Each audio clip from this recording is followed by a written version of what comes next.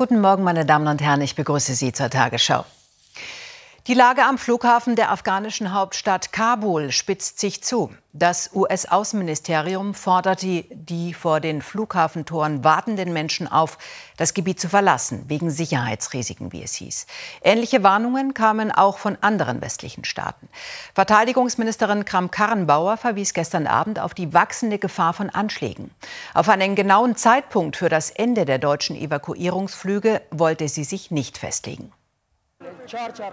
Dichtes Gedränge vor dem Flughafen Kabul. Noch immer hoffen tausende Menschen auf die Ausreise, doch die Sicherheitslage spitzt sich zu. Die US-Regierung warnt mittlerweile vor dem Aufenthalt rund um den Flughafen. Auch die Bundesregierung spricht von Terrorgefahr. Die Hinweise äh, auf äh, äh, mögliche Bedrohungslagen sind sehr konkret und sie sind sehr ernst zu nehmen. Und das beschließt sozusagen möglicherweise eben auch Zeitfenster, weil es dann um die Frage der Sicherheit der Menschen an diesem Flughafen, aber auch um die Frage der Sicherheit unserer Truppen geht.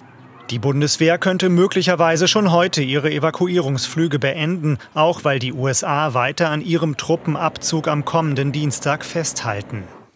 In den letzten Tagen werden wir in erster Linie unsere Mannschaften und das militärische Material hinausschaffen. Das heißt aber nicht, dass wir Schutzbedürftige nicht weiter ausfliegen.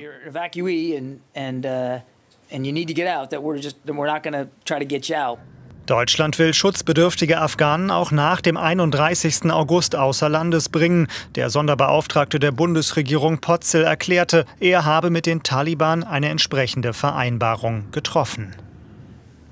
Im Tarifstreit der Bahn mit der Lokführergewerkschaft GDL zeichnet sich vorerst keine Lösung ab.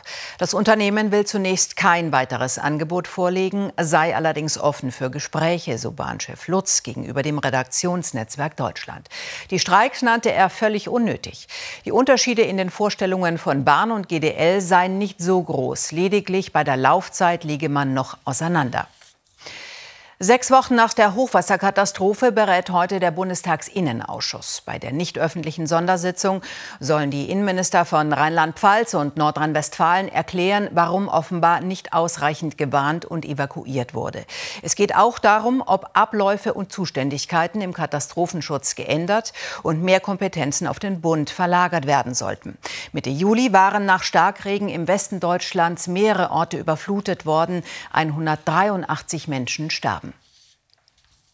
Die Zahl der Corona-Neuinfektionen steigt weiter. Binnen eines Tages wurden dem Robert-Koch-Institut 12.626 neue Fälle gemeldet, gut 4.000 mehr als vor einer Woche. Die Sieben-Tage-Inzidenz liegt jetzt bei 66. Israels Premierminister Bennett ist zu seinem ersten Besuch seit Amtsantritt in den USA eingetroffen. Er sprach zunächst mit Verteidigungsminister Austin und Außenminister Blinken über die Verstöße des Iran gegen das Atomabkommen. Bennett ist gegen eine Rückkehr der USA in das Abkommen. Für heute ist ein Treffen mit Präsident Biden geplant. Der FC Bayern München hat locker die zweite Runde des DFB-Pokals erreicht. Der deutsche Meister schlug gestern Abend den Fünftligisten Bremer SV mühelos 12 zu 0. Und hier die Wetteraussichten. Mehr Wolken als Sonne und vor allem in der Osthälfte gebietsweise Regen und teils kräftige Schauer, dazu einzelne Gewitter, besonders in der Nordosthälfte windig. 14 bis 22 Grad.